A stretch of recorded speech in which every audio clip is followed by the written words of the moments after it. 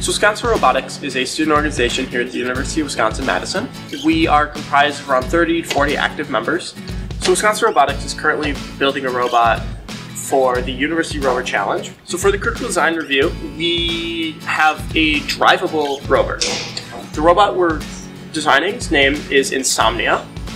So Insomnia has been designed so that the mechanical, electrical, and software components will work together in order to tackle all the different challenges that URC throws at us.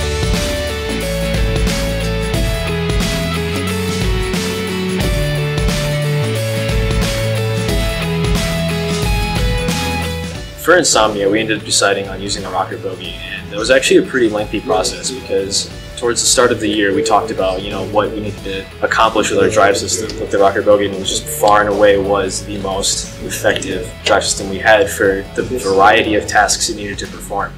It's a suspensionless suspension, right? Because it doesn't have shocks, but it can still get over things, and it functions much in the same way that a suspension would. Regarding the arm, you want to keep it as simple as possible. We didn't need a ridiculous range of motion to use, you know, only motors. So we actually end up going with a linear actuator system because, again, we don't need to necessarily be reaching all over the place. So I, I would say that the wheel is the most complex system on the robot, and I would be mostly proud of that. I mean, the wheel is not really something you can reinvent, but the way the way we tackled the issue with our wheels being that we couldn't really fit a motor inside the frame, so we instead opted to just design a wheel with a motor being inside of the wheel itself.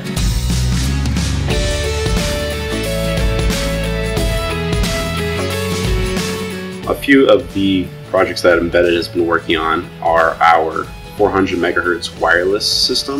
We've basically taken this all from scratch. We've even made our own custom antennas. Our whole goal is to be able to not be impeded by the landscape out in Utah and also to be able to have as much throughput as we can.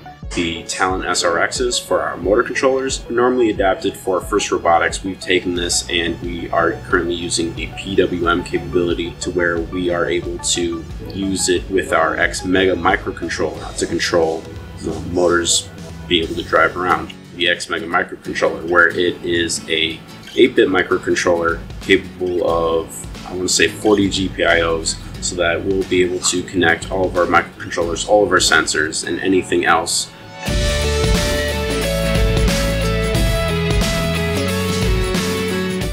We've been using something called the JAWS protocol to communicate with our robots.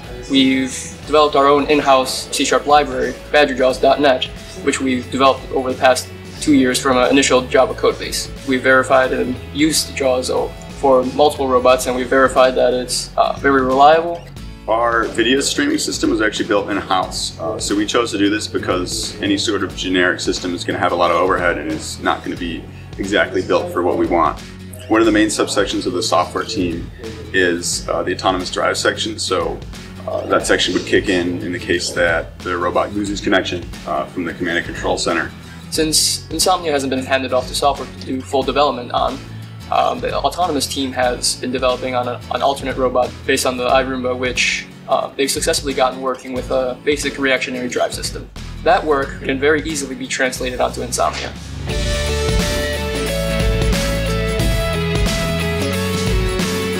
So the way we came up with the name for our robot, Insomnia, was actually, I think, inspired by actually the vice president mentioning that I really should go home one night and go to sleep. It's starting to become the norm for the team to stay up really, really late, so I think we kind of embody the name that we chose. The core of Wisconsin Robotics is a group of incredibly motivated individuals. With our preparation for URC, the solid core of the team has put in a lot of hours over the past couple of weeks, and the gains that we've seen in the robot's development have been extraordinary. I have no doubts that we'll have a solid robot by June. We will continue to refine all the various subsystems and improve them, making them more reliable and just robust in general. Our robot is drivable at the critical design review, and having that amount of lead time before the competition itself will allow us to thoroughly test every single subsystem on there to ensure that we will be performant at competition.